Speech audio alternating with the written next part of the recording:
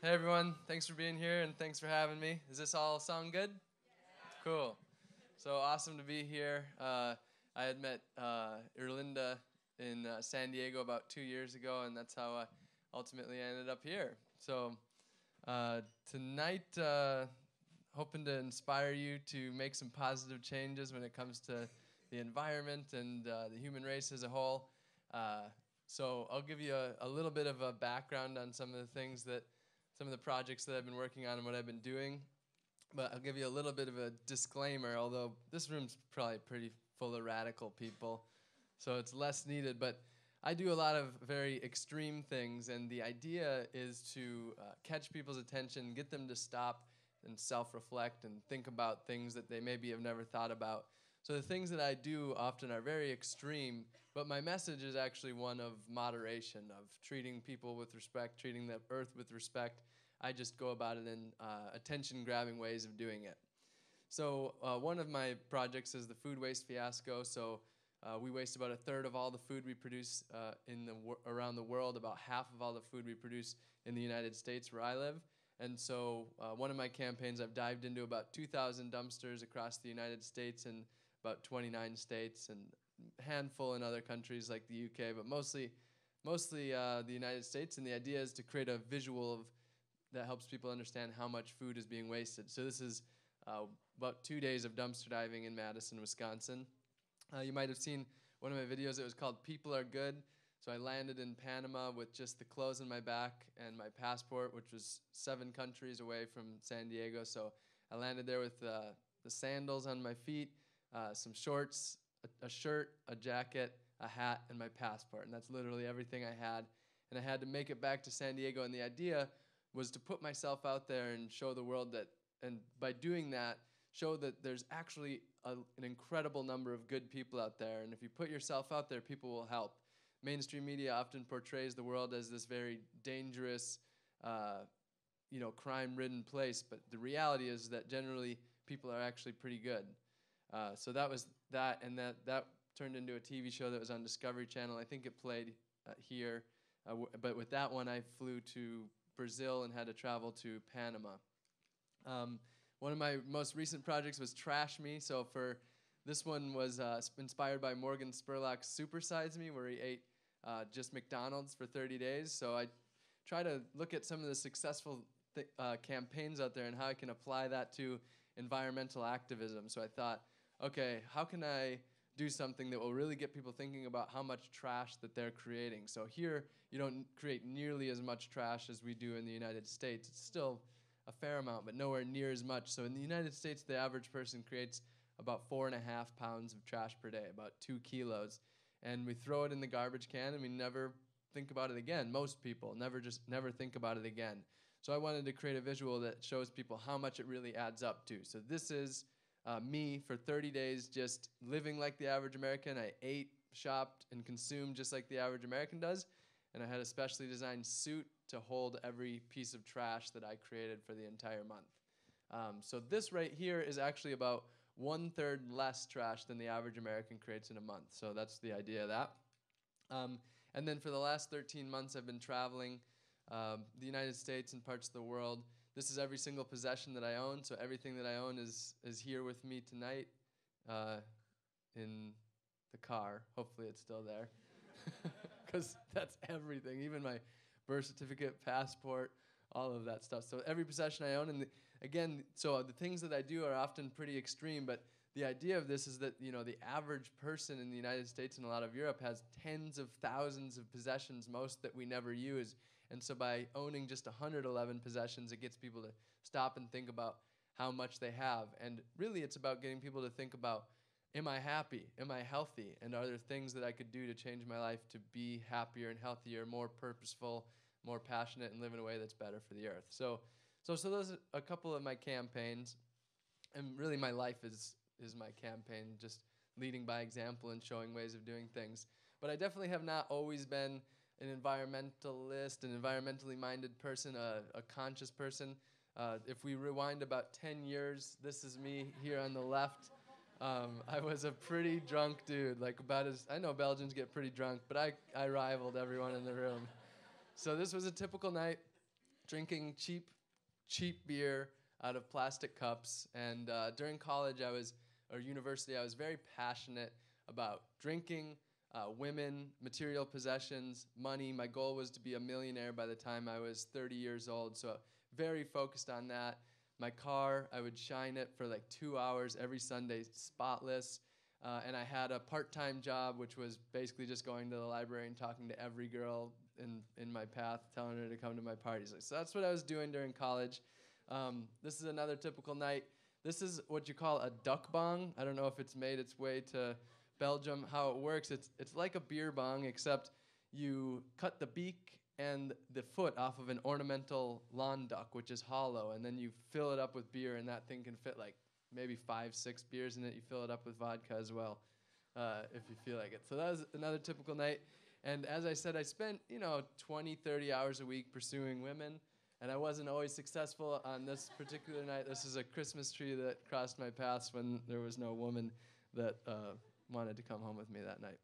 So I have not always been uh, very caring about the environment. I did go to school for biology uh, with a chemistry uh, minor, and then uh, aquatic science was my concentration. So I actually always cared about the environment and was, you know, when I was growing up, fishing and out playing in the ponds and things like that. Um, but the thing was, I always felt like I was actually living an environmentally friendly life during this time.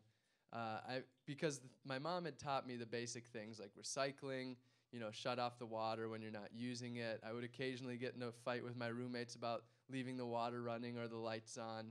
And so I was doing some of those things, but what happened was I realized, uh, I realized in about 2011, after I had graduated university, and it was about two years later, I started to watch a lot of documentaries and read a lot of books, and I realized that for the most part, my life was actually causing environmental and social destruction.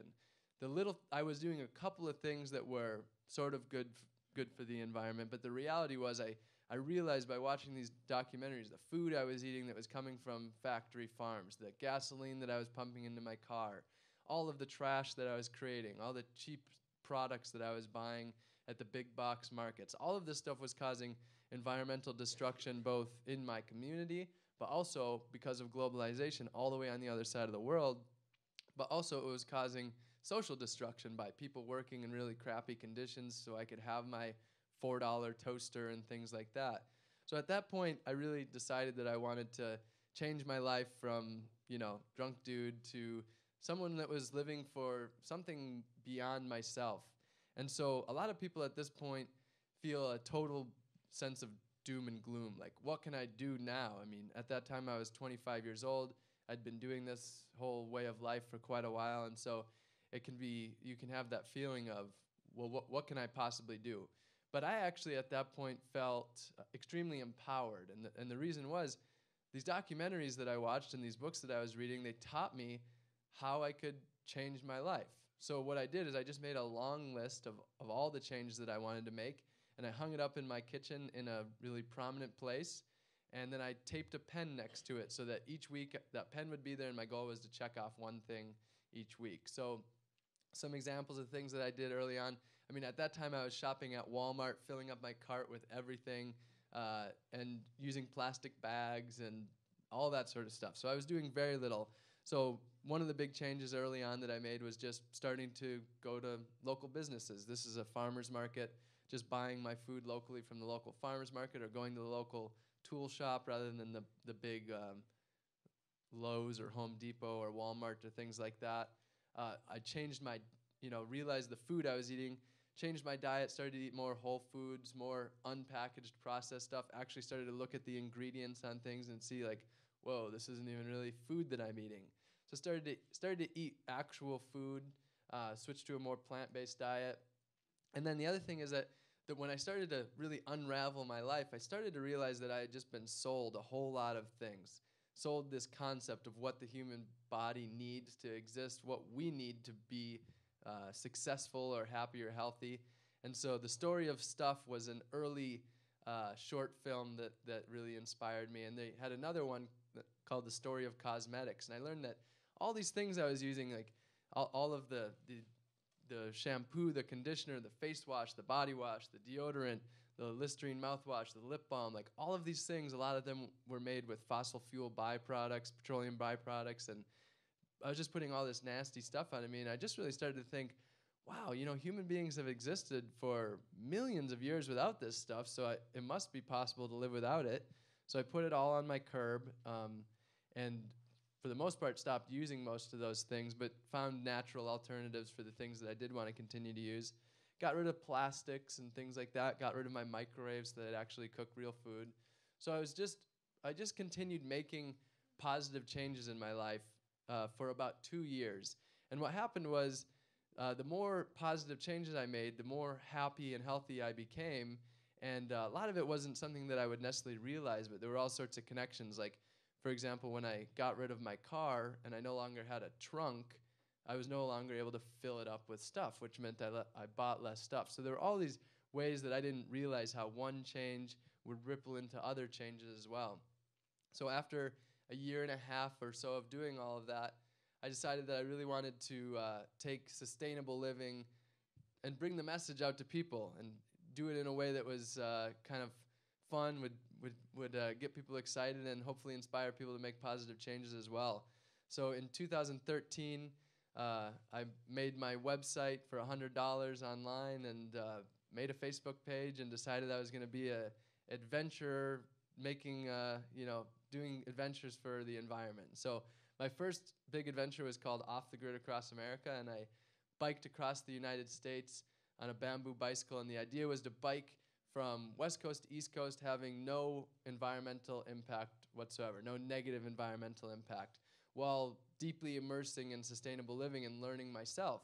Because they, they say that it takes 21 days to form a habit. So I thought if I do this for 104 days, which is how long the ride was, then I'll really deeply form this habit. So I set rules for all of the, the basics of sustainable living. So the key things of sustainable living that we deal with every single day food, water, energy, waste, transportation. These are the things that every single one of us in this room deals with basically every day. We eat every day. We drink water every day. We usually we have transportation if it's wherever we're going. Um, we create waste every day, whether it's garbage or it's something out of our body. And then energy, we're using electricity pretty much every day. So diving into these key things that a lot of us like th- that for me in the past I never thought about in a given day. So for food, the rule was I could only eat local organic, unpackaged food. So that meant food from whatever state that I was crossing through. Organic just meant, you know, that I, it didn't mean necessarily that it was certified, but it just came from the farmer and I talked to them. And then lastly, unpackaged, so nothing wrapped in packaging. But I knew that this was going to be really hard because a lot of places that food just doesn't exist. So I had made one exception, and that was that I could eat any food that was going to waste. And the reason being is, of course, if if it's already in the, the garbage, the, dumpster, what do you call it over here? Bin. Yeah, bins. Huh? Volbach. I find your language quite funny. um, so if it's in the garbage, the environmental impact has already happened. So there's, you know, if it's in the garbage, I figured that sounds weird. If it's in the garbage, I might as well eat it. But that's what I was doing. So um, so I found the first dumpster that I ever looked into. I was crossing the Sierra Nevada mountains. It was about seven days in, and I, I looked in there. I was I was really nervous at this time because I still had a pretty good sized ego at that time, and for someone to know that I was eating out of the trash would have would have damaged that ego. But I had come up with this trip, and I had to do it. So I looked inside the dumpster, and sure enough, it was it was filled with perfectly good food.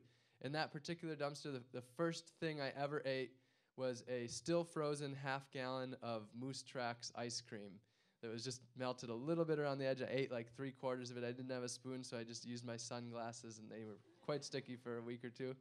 Um, and so uh, basically, for the rest of the trip, instead of going into the grocery store and asking, Do you have anything local? Because the answer was, What do you mean? You know, most of the time they just they just had no clue where any of the food was from. So I got tired of that. So instead, 70% of my diet that summer ended up coming from the dumpster. It was about three pounds a day worth of food, 280 pounds. So for water, the rule was I could only use natural bodies of water. So for the entire summer, I couldn't have turned on a faucet, used a flush toilet, taken a shower, uh, any way that we use water in a given day in the house, I, I wasn't able to do. So uh, instead, I had to use natural bodies of water like lakes and rivers, purify the water myself, go swimming, even in some pretty dirty ponds. Um, but the exception again with that was that I could use water that was going to waste. So this is a fire hydrant in Brooklyn. The leak is right here. And uh, so I lived off this fire hydrant for five days while I was in Brooklyn. I bathed in it. That's what I'm doing here. Uh, I uh, took, I brushed my, went over there to brush my teeth, did my laundry in it, uh, used it for cooking, all of that. And so this one leak alone is waste. Uh, I timed it, and it was wasting two gallons of water per minute. So that's about eight liters per minute. So it's what that means is it's 770 gallons of water per day, which is enough to meet the drinking needs of 1,440 people, just out of this one fire hydrant alone. So uh, over the entire trip, I only used 160 gallons of water, which is what the average person in the United States uses in, in about two days. For energy, I could only use electricity that I created myself for the entire uh, summer, so I wouldn't have been able to give in, to give this presentation. I wouldn't have been able to touch this or, or use any of this stuff. Couldn't turn on a light switch or use someone's refrigerator or uh, you know open an electric garage door. Basically, every way that electricity was involved in life, I had to stop and think about it. And so, um, you know, there was the challenging ones, like for example, if I wanted to go into a store uh, and there was only automatic doors, I'd have to wait there until someone goes through the automatic door and then go in. Or if I was biking and it was night and an automatic light would go off, I'd have to go over there and unscrew that light bulb and hope that they would figure it out like the next day why it's not going off. But so it was uh, it was a really deep immersion, and what I learned is that my life is totally electrified at all, at all points of my life. Basically, I was consuming electricity. Um, seventy percent or more of electricity in the United States is from fossil fuels, so I was basically burning fossil fuels at most times. But only by really deeply immersing into this was I really able to start understanding it more. So, for example, you know, my exception with electricity was I had my um, I had a computer and I had a, a cell phone, and they were both charged by the solar panels. But uh, my exception was I could log on to the internet, and I knew that by doing that, I was probably using some electricity via you know the router using more, probably using a little more electricity. But what I didn't learn, didn't know, and that I learned on that trip, uh, I visited a business uh, called Renewable Choice Energy in in Boulder, uh, Colorado, and their job is to get companies like Facebook and Google to switch over their servers. So the servers are the places that host the computers where all of the data is stored.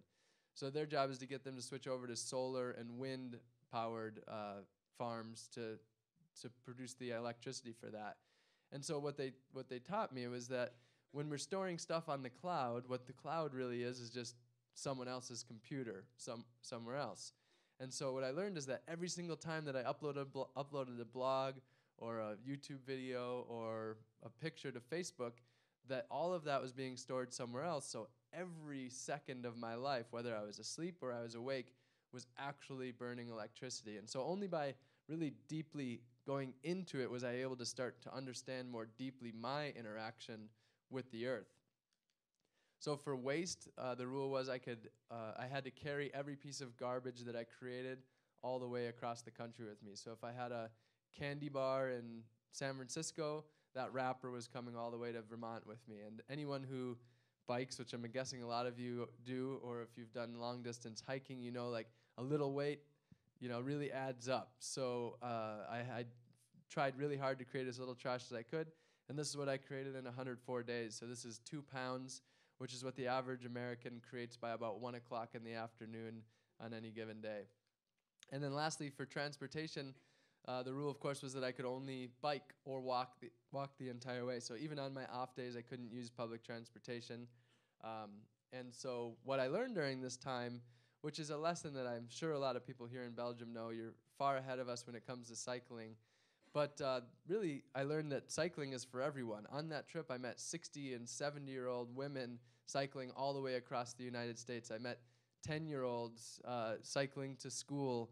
I met people that were way larger than you ever would imagine would fit on a bike, that were biking hundreds of miles or biking 30 miles back and forth between work. And so I really learned on that, on that trip that cycling is something that's that's accessible to so many people. So after that, uh, after that adventure, I I moved back. I went back to San Diego, and I was in my apartment uh, that I had still, and um, I still was still still at this time after a couple of years, still constantly picking up on ways that I was causing environmental destruction. So, for example, when I got back to San Diego, one of the things that I learned is that you know I had my money in uh, Chase bank account, J.P. Morgan Chase, and I I realized, wow, what's going on with my money? Well, they invest in uh, largely in fossil fuel infrastructure projects. So here I am trying not to use fossil fuels, but my money is being used to invest to make fossil fuels more accessible. So I had to take my money out of the big banks. I had to take my money out of any investments. Like I learned that my mutual funds were invested in uh, cigarettes and fossil fuels, among other things. So taking my money out of those. And then by this time, I was creating so little trash that I was able to take the garbage can out of my house. So then in 2015, in January, uh, it was New Year's Day. I decided that I wanted to move out of my apartment and live in a, a tiny house so that I could live off the grid and not have any bills or any debt to my name. So I went on to Craigslist uh, New Year's Day and I was going to buy myself a little camper so that I could live in that while building a tiny house. And I found this online and it said it said it was $950 and I thought surely that must be a typo. I mean, $950 that's like 1 month's rent for a lot of people. So I put $950 in my pocket. Uh, well, actually $1,000 in my pocket and I biked up to this guy's house. It was about 6 miles away and I said I I said I wasn't going to buy it, but I don't know why I had the $1,000 in my pocket if I wasn't gonna. Um, but I realized why it was only $950 because it was basically just a little wooden box on wheels. It was five feet wide. So this is actually larger. This screen right here is larger than the actual size of the house because five feet wide is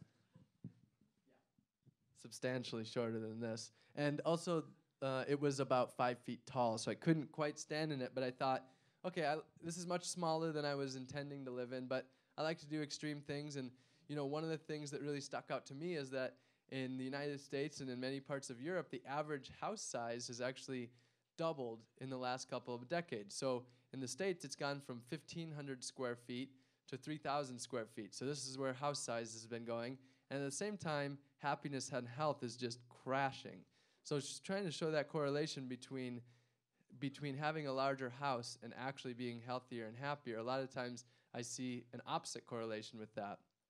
So here I practiced uh, sustainable living also to the extreme to really, uh, again, do things that would really catch people's attention, get the news to come out and report, and be able to bring this stuff to people that maybe have never thought about any of these things before. So uh, for food, I grew some of my own food. You you here in Belgium have plenty of rain, I'm assuming, but San Diego was uh, a desert and it was in a mega drought, so it wasn't exactly easy living off the grid and being completely dependent on rainwater and growing food.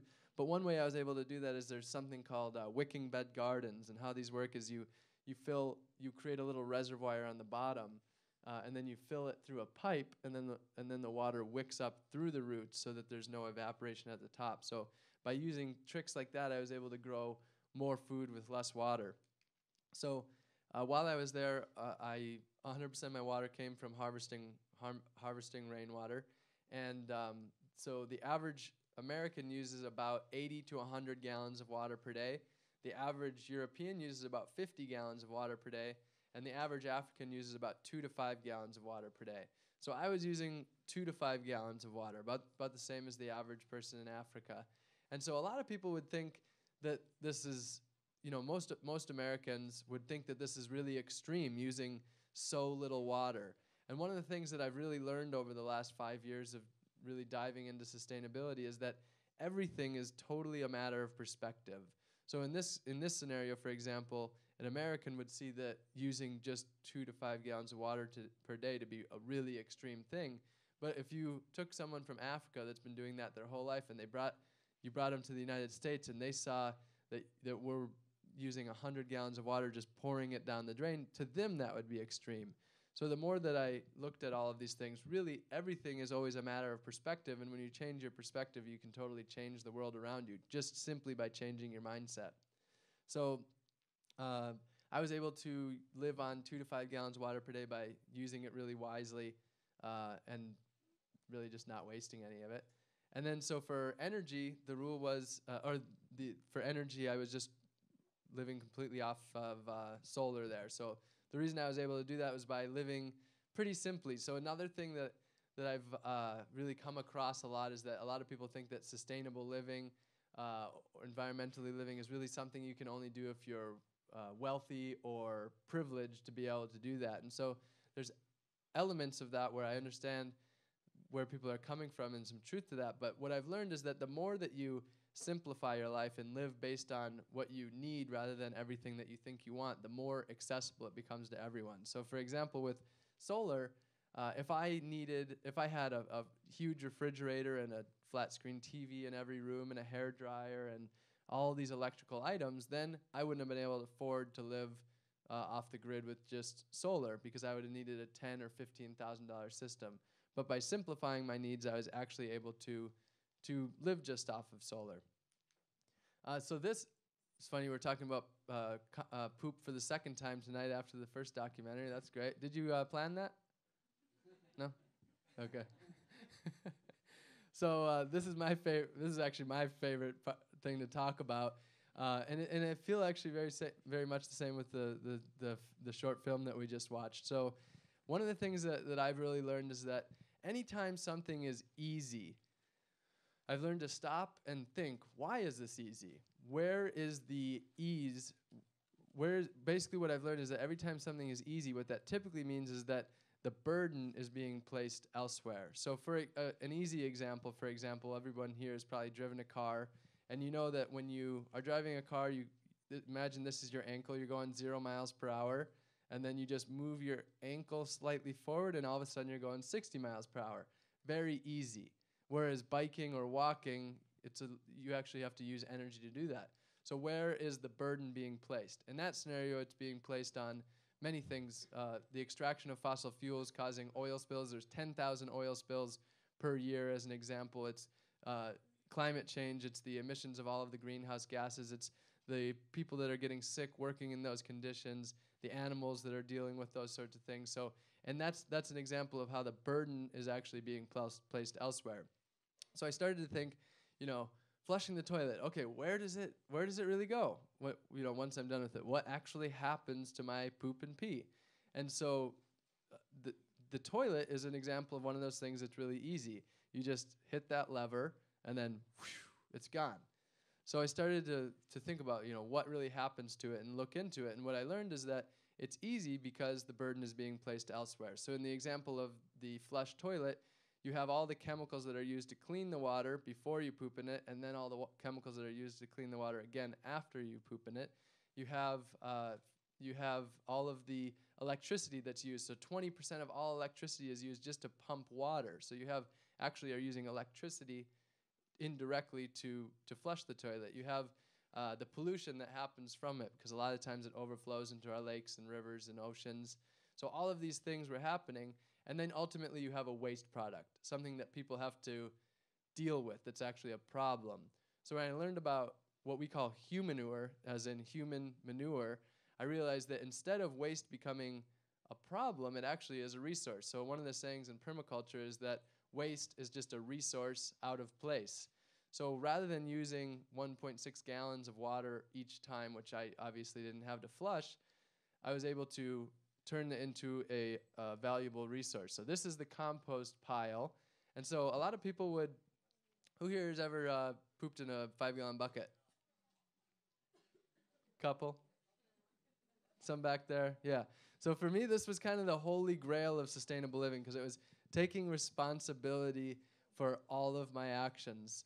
And so a lot of people, uh, you know, have social media, and so on there, a lot of people have said things like, "Oh, worry." Like, first of all, they would assume I was gonna die, and if I wasn't gonna die, that I was gonna kill the entire city of San Diego.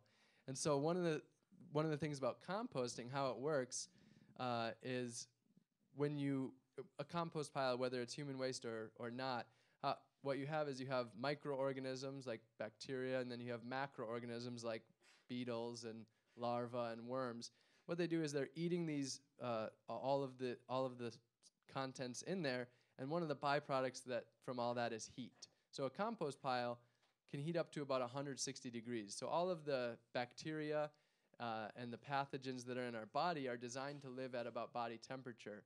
So once they're in the compost pile, the heat that's created by all of that movement uh, of the of the micro and macroorganisms actually kills all of that off. So it's really safe. So I was at least able to tell people that that I am not indeed going to kill the city of San Diego. But the thing that I didn't know about the time is that people still would say, you know, ew, this guy's eating food grown off of poop. And I was like, yeah, but I don't have a good response because I'm assuming you're not doing that. Um, but then I read uh, a book called Wasteland when I was doing Trash Me this fall, and I finally really learned where our poop goes as I looked into it deeper. So take New York City, for example, where I was at the time. What you have is you have million, well, you have eight million people or so there. So uh, about eight million poops a day, maybe more, depending on how people are doing. Um, what's that? Huh? Anyway, um, so so what happens is all of that all of that goes into uh, the wastewater treatment plants. But what you have going along with that, the average person in the United States has like 13 prescription meds total. I mean, some people have zero, some people have 20, but it averages out to billions of prescription medications. So you have all of that going with it. But you also have all the things like the bleach and the Drano and things like that. So all that's getting mixed together. So what you have is an extremely toxic poop slurry that ends up with, you know, millions of poops mixed with all of this toxins. But then you also have uh, companies that are improperly disposing of things like motor oil and things like that that makes it even more toxic. That then is biodigested in part, and then what's left was turned into fertilizer. And where that fertilizer went is it was shipped down to Texas on rail. So this very still toxic fertilizer, and then that was used to grow the food that people that were commenting on YouTube and Facebook saying, "You, this guy eats food growing from poop." Well, what I learned was at least I was eating off of fairly clean one person's, not one million New Yorkers' toxic sludge poop. Uh, so for uh, on on to the next thing. We're done with poop now. Might come up again though. Um, so for trash, uh, I created a little more trash than I did on my bike ride. This was this would be about a normal two to four weeks worth of trash. So it was a, it was a couple pounds a month usually. And uh, for transportation, um, I, one of the things that I learned is that the average person in the states, and it's similar over here in Europe, uh, spends about seven to nine thousand dollars per year on their vehicle. So what that means is that uh, the, the the the normal the kind of the median income is about fifty two thousand dollars a year. So that means that the average person is working just is working January and February of every single year just to own their car. So imagine what you could do for January and February of every single year instead of owning a car. And that's the reason that I got rid of my car because growing up, I thought that a car was freedom. You know, it was how to get away from the parents, be able to go wherever you wanted, whenever you wanted. But what I learned is that the car was actually the thing that was holding me back the most. It's what tied me to having to work to pay the to pay the bills of the car. So getting rid of the car was actually one of the, the most freeing things that I ever did. In San Diego, there's something called uh, Car to Go, which is an electric car share program. That made it easier for me there because when I did need a car, I could get one. But a lot of cities have things like Zipcar and things like that. How elect how uh, Car to Go works is there's a little, you have uh, your own little a card here, and then you touch it up to the window here, and then you just get in. It lets you in. You put in a code, and then you drive it away. And then when you're done, you just park it in a parking spot, and it just bills you by the amount of time that you're in there. But for the most part, I would ride my bike. Uh, the car to go is for mostly when I was feeling lazy. Um, so the whole the, you know the whole idea of a lot of this stuff is to create visuals that help people to understand things. So talking about food waste um, during you know as I was starting to dumpster dive and I mentioned that you know early on I was pretty timid about talking about that, not knowing what people would think about me and things like that.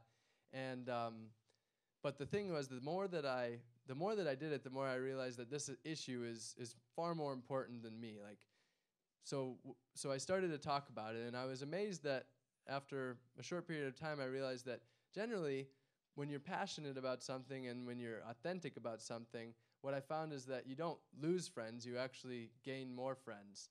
And so uh, the food waste was uh, what ended up being uh, something that I became really passionate about. And I didn't realize going into it how important of an issue it is, but I've learned that it's actually one of the most uh, pressing environmental and social issues of our time. So, worldwide, uh, we throw away one third of all of the food we produce, while over a billion people are in food poverty. So, we actually have enough food on earth to feed every single person. Not all of it's healthy food, you know, there's a lot of Cheetos and things like that, but we have enough food to feed the entire world. In the United States, we produce enough food to feed another entire American population, while one in four Americans are food insecure. So this is San Diego, California. I, uh, I was trying to come up with a way to, to really help people understand how much food is going to waste. So in the United States, it's $165 billion worth of food per year. So to put that into perspective, that's more than the budgets for every national park, every public library, all of veterans health care, all the federal prisons, the FBI, and the FDA combined. So it's a, it's a massive number, but a lot of times it's still hard to wrap your head around numbers. So this is two days worth of dumpster diving in San Diego, California. Um, and I mentioned, uh, you know, when I early on I was very timid about the idea of dumpster diving, and one of the reasons was this girl here. Four years ago, this was 2013. I was very much in love with her, and she was very much like, you know, get away from me, Rob. Not interested in you right now. Um, and so she was actually someone who told me, don't tell anybody you're dumpster diving. So I kind of listened to her because I, I was just kind of taking her advice. And so uh, this is us four years later. She uh, obviously came around, and uh, what I learned is that you can eat your trash and have the girlfriend too. so uh, this project it was called Trash Me. Uh, this is the one that I just finished up in uh, in September. And as I said, you know, with so many of these things, we we just never think about it because the infrastructure is there that takes things away, and then we never have to think about it again. So the average American creates four and a half pounds of trash per day, throws it in the garbage can, and then where does it really go? So the idea of this visual was to just really help people to uh, to think about these things on a daily basis. So you have the uh, the the uh, frozen pizza here. You have like the Starbucks cups and the red uh, beer cups and the packaging from buying stuff, the the batteries, the plastic bottles, and the idea was just you know to to create that association in people's mind and help people to to actually think about that. So. Um, the whole idea of all of this is to to really just uh, you know get people to self-reflect and and think about what positive changes that they can make in their life. And so these are some of the things that uh, that I think that that I've been making over the last five years that I found to be really beneficial. And um, so just some of this some of the suggestions for anyone who is inspired to make positive changes. I broke these down into into the basic aspects of sustainable living food water energy waste and transportation. And each each one of these is on my website. There's a guide for all of these. So this one's food is for example robgreenfield.tv slash food and it goes more in depth there. But so for food some of the things are eating you know as much local food as possible. So eating as much food that that's grown in belgium or if not belgium more like spain rather than new zealand or chile. Um, eating as much organic, natural food as possible, stuff that's not sprayed with pesticides, uh, unpackaged foods. Is there any grocery stores in here that sell unpackaged? What are they called? Una? Una. So, so, uh, so going to stores like that where you can buy food, you bring your own containers and fill them up uh, whole foods, so not the grocery store, but just just foods that grow, foods that look basically like they did when they came from the earth. So, for example, apples rather than applesauce, or potatoes rather than potato chips. Uh, growing your own food, so it's life changing. Just planting a seed and actually seeing that turn into food, and then eating it. It's it can be a very life changing experience. Um, eating seasonal, so stuff that grows you know what's growing in season. So if it's if it's middle of January and you see strawberries at the store, thinking where are these strawberries actually from? Another, you know, one of the simplest things we can do with food is actually eat it. So uh, the average person wastes about 25% of all of their food. So simply eating the food rather than throwing it away. Uh, and then another big one is uh, eating a lot more fruits and vegetables, nuts, seeds, grains, and a lot less meat. This actually is the one that causes the most environmental impact, uh, eating uh, meat and animal products. So that one actually sh- should be more at the top, which leads into the next one, which is water. So the average, or sorry, to, to create one hamburger takes about 660 gallons or about 3,000 uh, liters of water. So to put that into perspective, on my bike ride across the country, I went 104 days without showering. So imagine imagine 104 days without showering. Now imagine turning that into an entire year, which is what I did. In one year of not showering, that was the equivalency of six hamburgers worth of water. So two months of showering is equivalent to one hamburger. That's how much water it takes to produce uh, meat. Well, b- that's particularly beef. That's the most most water intensive. So other things you can do: flush the toilet less. If it's yellow, let it mellow. If it's brown, flush it down. Uh, take. Do you have that saying here? Hmm. Oh, it's new. I brought it to Belgium. Uh, take shorter showers. Every minute off the shower is two minute is about two gallons. Uh, grow food, not lawns. That's one of the really the the most enjoyable things is rather than growing grass, uh, actually just growing food instead. So using that using that water to grow food instead of uh, instead of grass. Harvesting rainwater. Some people make these things really complicated. Uh, one thing about all of these things that I'm that I'm naming off, they're all you know designed to decrease your environmental impact. But the nice thing is that they don't actually cost you money. They're all designed to save you money, which means that you can work less and spend more time doing the things that you want. Uh, and then lastly, besides the fact that most of these make the earth healthier, they also make you healthier, which is a nice thing about it. Um, so harvesting rainwater, some people make that really complicated and they get like a $300 system. And I did that when I first started to ra- harvest rainwater. But then I realized you literally just have to stick a bucket under your gutter and collect that water. It's just as simple as that. Um, installing efficient faucets so you can get little uh, little faucet heads. They cost about three dollars. They use 75% less water, so switching those things out, you know, takes a couple of minutes, and then you're saving a gallon and a half per minute that you have it on.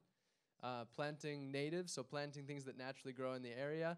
Installing gray water. Another thing that you can do really simple is, for example, put a five gallon bucket under your sink and unscrew the thing so it goes into the bucket, and then just take that out to the garden. That's the simplest form of gray water. Switching to CFL or LED bulbs. So LED bulbs they cost more, but after usually after three months to a year, uh, they've already paid for themselves in the amount of electricity that you're you're, you're using.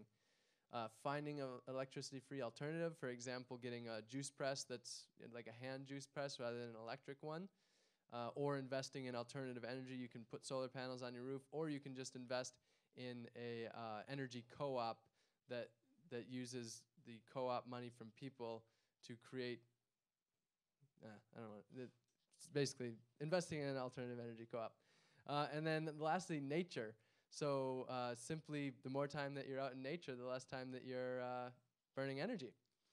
Uh, and then for waste, the five R's are uh, re- refuse, reduce, reuse, repair, recycle. So one of the things that I never knew is that well, even the three R's are uh, reduce, reuse, recycle are actually in that order for a reason. At first, it's reduce, then reuse, and then lastly, recycle. So people like uh, Bea Johnson or Lauren Singer, some of the leaders of the zero waste movement, and people that are practicing zero waste, the idea isn't actually to recycle more, it's actually to recycle less because recycling is a very energy intensive process. That's why it's at the bottom. Um, car- carrying a reusable water bottle. One of the big ones is saying no to disposable items. So anything that you look at and you would say, "Will I use this just one time and throw it away?" Instead, finding a reusable alternative. For example, carrying your own plate or bowl or utensils rather than disposables. Uh, buying unpackaged food, uh, buying used stuff. So there's uh, what kind of websites do you have he- here for buying used stuff? Uh, They have like Gumtree, FreeCycle, Freegle in the UK. Do you have those here as well? Yeah. So buying used stuff, which means no virgin materials are needed for you to have something. Uh, repairing things, so when something's broken or or slightly unfunctioning, fixing it rather than throwing it away and getting a new one. Uh, donating stuff that you don't need anymore, giving it to friends or a thrift shop rather than throwing it away, buying quality stuff uh, that won't break, and composting. And then for transportation, which is the last one. So one of the huge ones is going car free, not owning a car, uh, joining a car share program if you still need to drive a car. Uh, driving less is the, is a simple one. If you are going to own a car still, just simply driving less makes a huge difference. Uh, if you ride a bike, which there's no point in even talking about this here. I mean, I saw like a million bikes, but this is unique for me to see. Actually, when I got here, that when I got into the train station, that was the most bikes I've ever seen in my entire life. In the United States, if there's like six bikes in the same space, it's like, whoa, bikers. so it's pretty cool to see what's going on here. But uh, so I will take the lesson from you on that one and, and be quiet about the biking. Um, public transportation, which I think is pretty good in Belgium. I mean, even when you when you're complaining about public transportation, just imagine being in the United States for a little while because it sucks over there. And, and uh, think about it that way. Living near the places that you spend your time, so you spend less time banging your head or you know being d- depressed in the car and public transportation, being closer to places, and then simply walking. And then um, one of the last ones is that is supporting environmental organizations, supporting environmental nonprofits. So, so as far as philanthropy goes, only three percent of all philanthropic donations go to environmental nonprofits. Ninety-seven percent goes elsewhere. So donating to nonprofits that are working on the on environmental issues goes a huge way. Uh, and the other thing is just volunteering with them, just getting involved. A lot of times that's much that can be uh, much more beneficial than to, than uh, money to them. Just getting involved and volunteering. So there's a really awesome nonprofit which was uh, started by Patagonia, the clothing company, about 10 years ago. And so if you own a business, you can uh, join 1% for the planet, and your company gives 1% of all of the revenue to environmental nonprofits. You donate directly to the nonprofits, not to 1%, and they certify it like Rainforest Alliance. But just a month ago, they started that for individuals. So now we can donate 1% to different nonprofits. And it doesn't, again, it doesn't go to them. They just certify you as a 1% for the planet donor. So, uh, yeah, just supporting environmental nonprofits by volunteering or, or uh, donating. And so um, that's everything. And we have plenty of time for questions, right? So, yeah, so who has questions?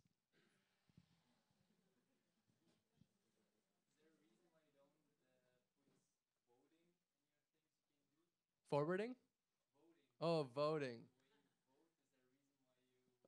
Oh, the, so the question is: Is there a reason why I don't put voting in the things that you can do?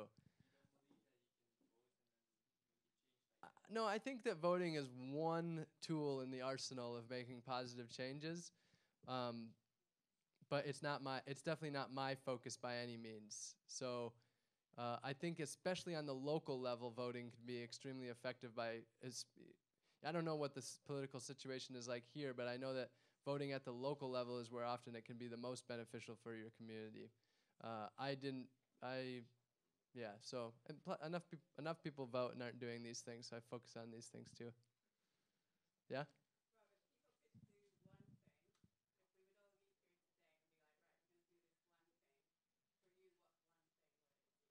So actually, the biggest thing that any of us can do to make the largest environmental impact is to eat a lot less meat and eat a lot more fruits and vet, you know, a lot more plants. So, you know, one thing is that, uh, you know, as I said many times, I do a lot of very extreme things.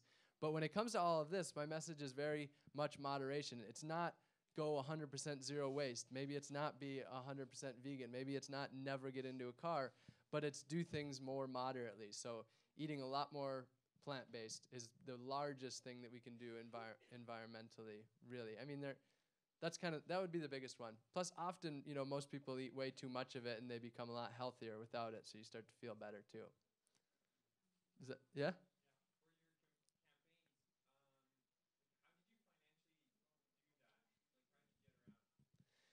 So it's everything's been a transitional process. So back in 2011, I started a marketing company, and so I was at that time still fairly money oriented. And so my first campaign, the bike ride across the country, uh, I had money from running a marketing company. So my earlier projects cost more money because the more you have, the more you spend.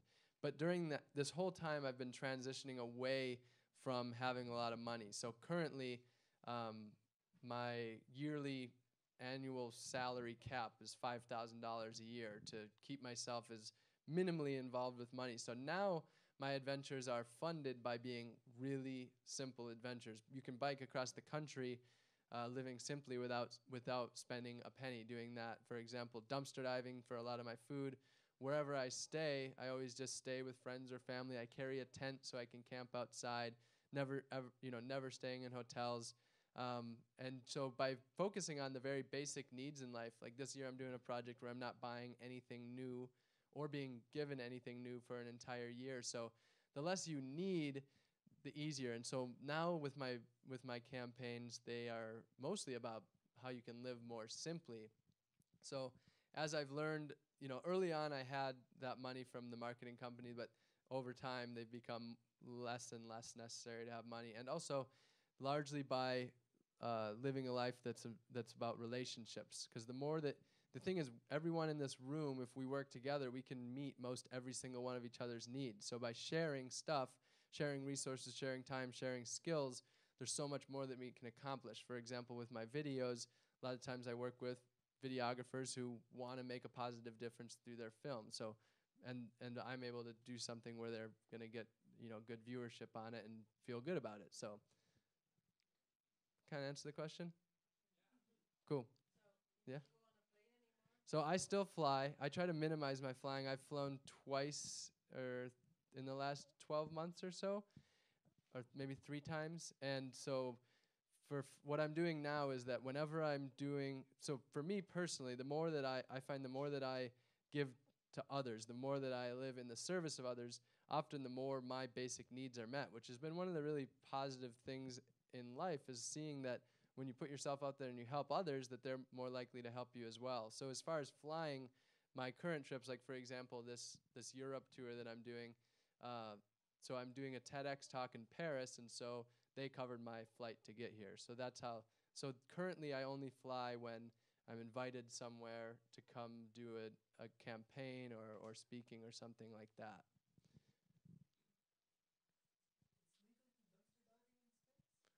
Dumpster diving. Uh, so the question is: it legal to dumpster dive in the states? So it's not illegal, but it's not something people want. I mean, most people don't want you in their dumpsters. Uh, so in very few places, it's actually illegal, but they can give you a trespassing ticket or something like that. Um, and how it basically works is the dumpster is technically on their property. So, but the ticket's like two hundred dollars. So the way I look at it is let I mean you can get a thousand dollars worth of food going dumpster diving in one night. So in a year you can collect ten thousand dollars worth of food, and if you get a ticket for two hundred dollars, well that ticket pretty well paid for itself. Um, so you can get in trouble for dumpster diving, but it's extremely rare. Rare enough where two years ago I put out a a, a blog saying that if anybody gets arrested for dumpster diving in the United States, I'll get them out of jail, I'll pay all of their fees, and I'll bring media attention. And it's only happened once in the last two years, and I did that, and the police ran away with their tail between their legs, and they didn't get any any fines, or they got off, you know, without any problem. And now they're back to dumpster diving in their town. So, so if you get caught for dumpster diving and you get arrested in Belgium, that that applies to everyone in this room. Just let me know. We'll take care of you. it's the uh, Dumpster Diving Defense Fund, is what it's called. Dumpster Divers Defense Fund. Yep. Mm, locking the dumpsters. I don't recommend breaking dumpsters open. But if you are crafty, you might be able to squeeze in. That, uh, that I endorse, squeezing in. You might need to just get a really small person for that. Yeah. Another thing is that actually a lot of people, when it, you know, crafty dumpster divers, they find someone who works at the store and they get the combination lock from them. I know a lot of that. People do that. I've never personally done that because I just ride my bike to the next dumpster. But yeah, and also, just uh, as far as questions go, you know, don't be hesitant to ask any question whatsoever. I live a, like a 99.99% transparent life, so money, you know, any of those sorts of things, I'm happy to to talk about if it's something that would be beneficial in any way to you.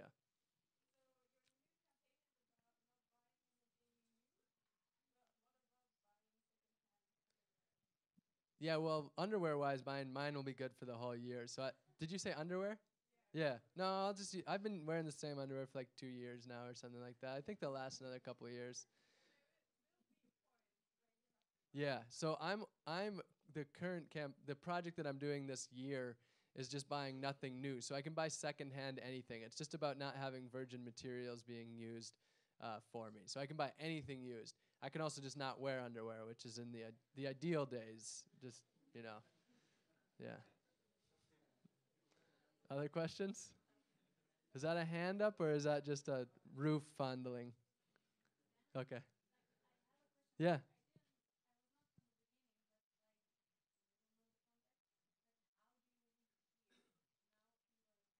I'm just traveling through. Yeah, I'm here for two days. How do I survive? Well, so as far as how I survive, which so so I do some of the public speaking I do. I get paid for that. That's my so as I said, my salary cap is five thousand dollars a year. So I have money by living simply to meet my very basic needs. And because I live very simply, five thousand dollars goes a really long way. So again, it's all about it's really about community. You know, we can meet like you know, ev- all of us have a floor that someone else can sleep on, for example, rather than burning a hundred dollars on a on a hotel. So even when places want to pay to put me up in a hotel room, I'm just like, why would I do that? Instead, donate the money to a nonprofit, and I'll just sleep on someone's couch. Other questions? None?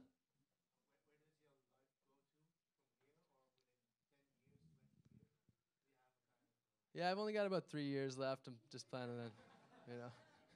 Um, my my where's my life going? So my goal is to continue doing this, you know, basically till I die, but in one, not necessarily in the exact same fashion. So, uh, one of my next big projects that I'm really excited about is for one year I'm gonna grow, forage, or hunt every single thing that I eat down to the, the to the salt to the herbs.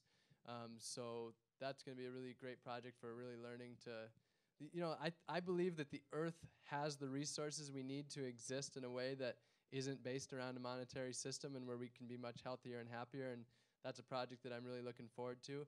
And then down the line within the next, so, so a couple ways, you, couple things. This summer, uh, I'm doing a bike ride across the country from uh, New York City to Washington, and we're planting uh, gardens across the country. It's called Good Deeds on Bikes, and anyone is uh, totally welcome to join. So far, there's about 40 or so riders that will be starting in New York and going all the way to Seattle. And the nice thing is, it's 82 days, so it fits exactly into your 90 day visa. So if you feel like biking across the country this summer, it's going to be an awesome uh, crew of people. We're going to be visiting farms and permaculture centers and all sorts of stuff like that. Um, and then ultimately, so that's uh, robgreenfield.tv slash Green Tour if you do want to come. And you can come for all of it or even just parts of it. And then ultimately, my long term plan is to set up a simple living institute of sorts where people can come learn all of these things in person. And so in 2018, I'll be doing that small scale with my my urban garden project. So if you're in Orlando in 2018, you can come have some have some veggies with me. Yeah. Well, my my earlier dream was to have a lot of money, have a nice house, have a nice car, get married, have kids. Like I grew up really low income. Uh, my mom made fifteen thousand dollars a year, and there was four of us kids, so it was pretty minimal amount. So as a young person, I my dream was to be normal. You know, like that that tor- sort of like American dream, just to live that sort of normal lifestyle. And so that was my dream for at least a decade or more. Um, but as I started to wake up to the world and that there's so much more, my dream is ex- exactly what I'm doing. Yeah, my dream was to live a, f- a free life where I can be a positive impact on the world.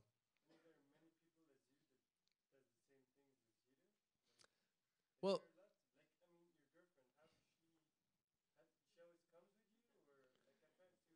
Mm. So, well, two things with that. So, mm. well, my girlfriend's coming on the next bike ride. Yeah. She doesn't dumpster dive, but she stands next to the dumpster, and I pass the food to her. We make a really good team. Yeah. Well, my girlfriend has become, we started to live a more, so two years ago, my girlfriend was living in an apartment. she still had a lot of bills, and so as we've been together for two years and a quarter, she's been starting to wrap her head around. Like for example, wh- when I got rid of my cell phone, she realized, oh, I could maybe get rid of my cell phone, but it still took her about two years before she ever decided to do that. So she got rid of her car.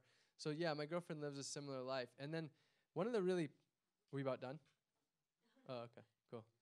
Um, one of the really nice things that I've seen is that a lot of people have a very gloomy outlook on the world, uh, and there's plenty of good reason to. But one of the nice things that I've seen is that everywhere I've gone, I've been to 49 states, just not, uh, not Alaska, and about 40 something countries, and everywhere I go, it's just so many people who have woken up to what's going on on Earth and who are making positive changes.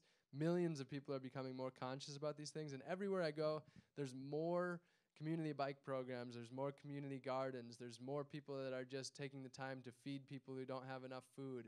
And everywhere I go, there's more and more of this happening. So that's actually one of the things he's, you know said is there are a lot of people like me, and everybody has their own different way of doing things. But but yeah, there are. Uh, real success to me is living a life that's always that not always, but living a life full of happiness, health, and freedom, uh, and and uh, living in a way that's beneficial to the earth, my community, and myself. So, dying knowing that I uh, made a positive impact on the world in whatever way that would be, and that ideally when I die, uh, a mountain lion eats me and nobody has to deal with my body, and I have no stuff and I have that would be success is that when I die, I'm gone and I have you know, I've left a positive path and I don't have a mess for people to clean up when I'm gone. That's that you know, that's partial success. Uh, and then success for me is clean water, fresh air, you know, healthy food. The more of that that can be created, uh, and I guess maybe taking down some major corporations would be huge success as well. So, yeah.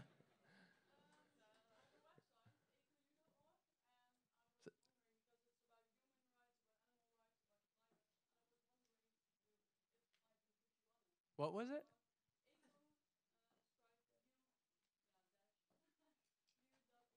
ecou.org. What is it? Okay. Oh, sure. Yeah, you're welcome to put me on it. Oh, sure. Yeah, of course. Uh, everything that I do is Creative Commons, where you know every uh, you know I don't own anything that I do. It's right. yeah, absolutely. Question was, how would I do everything I do with kids? I wouldn't. I would have. I would live. Yeah.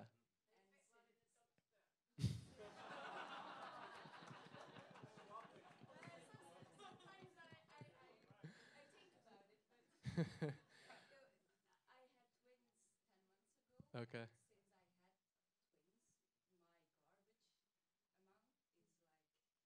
So much. So the good news about all of this, and I didn't mention this, is but all of these things are things that can be done whether we're 80 years old or 10 years old, whether we have kids or we don't have kids. It's just a matter of applying it to our situation. So one of the good ways of I always try to look at life is that you always have to look at the scenario and then apply it best to your life. So um, all of these things are, are ways that you you know a, a human being does not by nature create piles of trash. That's only because that's the system that we are choosing to be a part of. So, for example, with children, one of the big ones is using reusable diapers rather than disposable diapers, uh, as an example. What's up?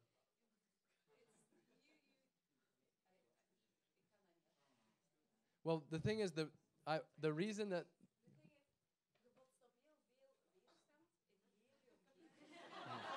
I get it. Thanks for coming. Yeah. Translator?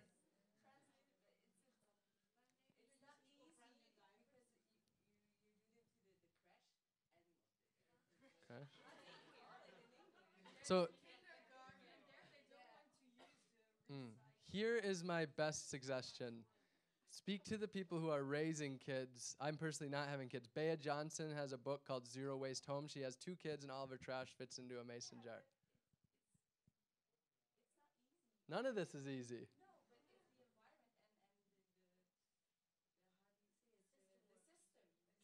Yep. But the system is against every single thing that I talked about tonight.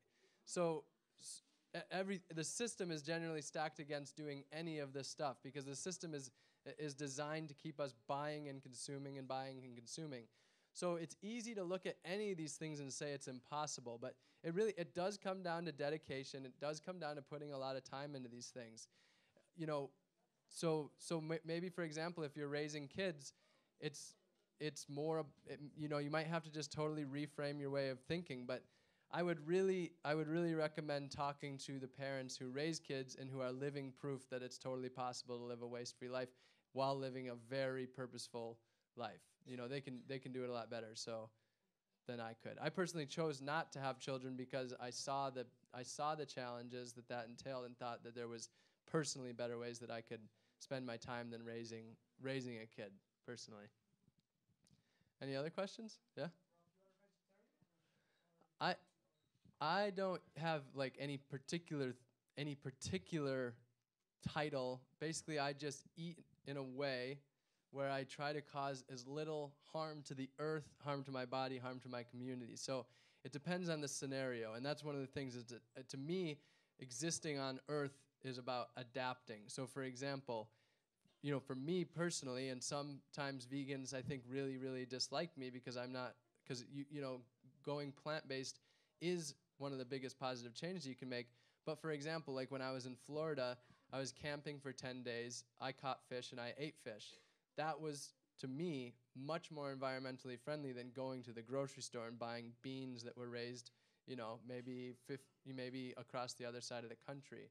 So for me, I eat minimal meat, and I eat. Oh, for the another thing, like I was ri- driving down the road in uh, Totnes, UK last week, and I saw a pheasant on the side of the road, and I was like, I like to move animals off the side of the road so they can, you know, they can integrate into the soil and and rest in peace. And I picked it up, and it was still warm. It had just died within the last probably half hour or so, uh, and it wasn't bloody at all. So I took it home and I cooked it. You know, I think that day I had a number of of really mad vegans at me that day, but the way I looked at it is that was a that was a great usage of resources, and and uh, rather than letting it die on the side of the road, so that's my way of doing things. As far as food goes, did I see a question over here? Yeah. Hmm. How angry do I get is the question. Actually, minimally angry. Uh, typically, I find that like as far as staying positive, it's a couple of things. One, well, how many people in the room like want to make the world a better place? Most everyone. So strategically, I've realized that being angry is not going to do it. Being pissed off and yelling at people is rarely going to make them want to change. Because what happens is when you are angry with someone, they get defensive. And once someone is defensive, they put that wall up. There's no there's a wall between you and you're not going to be able to f- affect that positive change. Because i'm a logical and rational thinker i know that i have to be positive to create positive change because you create what you are. So there's that aspect just remembering staying positive is what's more likely to make people make positive changes. Like cheryl's mom for example is uh, my girlfriend cheryl's mom super unconscious about any of this stuff has no desire to do it whatsoever and after three years of Cheryl just being not like hounding her with it, but by Cheryl being happier and healthier over the last five years, now her mom is saying, "Man, Cheryl's so happy and healthy. What she's do? What is she doing?" And now she's starting to do those things more. So, uh, you know, that's a big part of it. And then another thing is that, you know, I personally believe that life is precious, like all lives, whether it's whether it's uh, anyone in this room, whether it's a duck that's flying over even ev- you know even an ant. I believe that all life is precious. I believe that water and air all of these things are precious. And so the way i look at life is if each if each day i can just have one positive impact whether it's making one person uh, happier and healthier or maybe it's just cleaning up a duck pond so there's less trash in it by knowing that i made a life better that way i can stay positive so just by focusing on the smalls there's the saying uh, think globally, act locally. So by focusing on the positive impact you can make in your community to the people and to the animals around you, that's also how I stay positive. So you want to think at the big level, but make sure that you're focusing on on yourself. And the other thing is focusing on yourself. So all of this stuff, the aim is to not be selfish, but it's not to be selfless. So by doing things that make yourself happier and healthier, uh, it makes the world happier and healthier typically as well. So a lot of these things are extremely rewarding. Volunteering at nonprofits, uh, doing random acts of kindness, growing food, all of these things that are better for the earth are also extremely rewarding. So by focusing on living a rewarding life that you actually enjoy, also you're less likely to be pissed off. So, yeah. Yeah. Do, uh, so the question is, do I aspire to inspire companies to change? I do. I, you know, I think so. I I work on a bottom up, you know, approach rather than the top down approach because the top down approach will never be successful without the bottom up as well. I believe because you need the people to rise up to make positive changes. But at the same time, when a corporation when a corporation makes a positive change, that's something that can be so massive, more massive than all of us combined making positive changes today. So, but my way of doing that is, is realizing that everybody who works at a corporation is a human being. So, simply by reaching human beings, you can get them to hopefully light little fires inside of them and have them make positive changes. But I also do speak at corporations. I spoke at Deloitte, uh, which is like a uh, insurance firm in what? Consultant firm. I think they are they the devil or are they all right? Anyone know? Devil? Okay. So I spoke there yesterday, and then uh, I spoke at TUI Group the day before that, which is like one of the larger travel agencies around. So definitely speak at corporations. Other questions? Last one, did you say? Cool.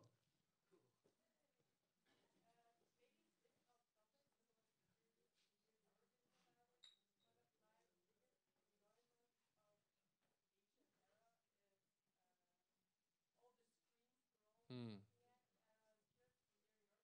Yeah.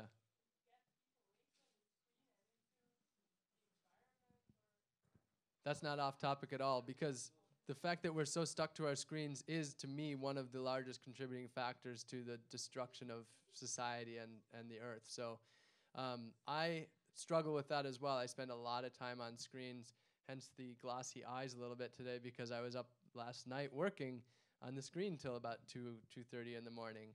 So for me, uh, I think that one of the most important things we can do is spend less time on screens. And so that doesn't mean that you can't be on it at all, but it means moderation. So what I when I'm at my happiest, what I do is I have a about I have a set of sort of guidelines. One is that uh, I turn off all electronics at least one hour before bed. Um, and then I wait at least a half hour after waking up before turning on um, any electronics. So no rolling out of bed and looking right at the email. So waiting a half hour, instead going outside, taking a breath of fresh air, stretching for five minutes, maybe drink, drinking a glass of water, um, and then limiting it to eight hours per day, five days a week. So 40, 40 hours per week on the screen, which is still a lot.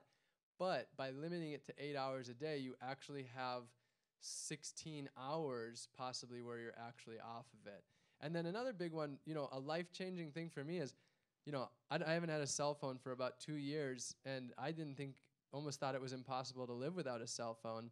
Um, but what happened, what I did is when I decided to get rid of my cell phone, I put it first into a drawer at my house and said I wouldn't use it for just one month. And that way I was able to like not jump fully off the deep end and see how it was and it totally changed my life. But before that, the thing I did was just for 24 hours, I turned my phone off and left it at home and actually left my house without a cell phone, which was the first time I had done that basically since having a cell phone, besides like camping, but actually being out in San Diego without one. So, yeah, that those are some of my uh, my tips. There's awesome uh, appli- applications you can use. Like there's websites that once you use once you use the internet for a certain amount of time, all those sites will be blocked until the next day. Uh, there's also Trump Blocker that blocks him completely from your internet, which is really a way to stay not pissed off. Um, and then you can block your Facebook news feed. Like I recently unfollowed everyone in my news feed, and when I decide I want to follow people, I'm gonna individually choose what. So a big thing is being conscious of what the information we consume. So okay, maybe you want to be on top of politics, but doesn't mean you need to have it infiltrating your head every 15 minutes. So consciously choosing to consume information rather than just consuming whatever happens to cross your screen at that moment. So that's some of my thoughts on that. How do you want other religions to do the same? Probably talk about it. Like a lot of people have never even thought of the idea of leaving their phone at home for 24 hours. So talk to your friend and say, hey, let's go out for 24 hours. Let's go out for six hours today without our phones. Let's go on an adventure without our phones. So starting with small steps would be, you know, I would say leading by example and um, and coming up with fun ways to get your friends involved in doing that sort of thing. So uh, we got zero more questions, right? Zero more questions. Yeah. So, but I, but what time is it? Sing? No singing. I'll never sing. Um, yeah. My name's really Greenfield. Yeah. I, uh, I guess, we'll, and we'll take your question. What is it? Hmm. I, yeah. The question was, do I feel like I'm creating a religion? No, because all of this is uh, don't don't listen to just one of my things is don't just listen to anybody who tells you something. Go online, do the research, and make sure that you're making positive, making changes for the reason. So, do I feel like I'm uh, making religion? No, I just feel like I'm speaking some common sense to the world, and uh, you know, ideally, just what? Hmm, you're you, all right. You figured me out. who wants to join my cult? What's the initiation for the cult? All right. We're, never mind. Cancel that. Yeah. Yes, big up, big up.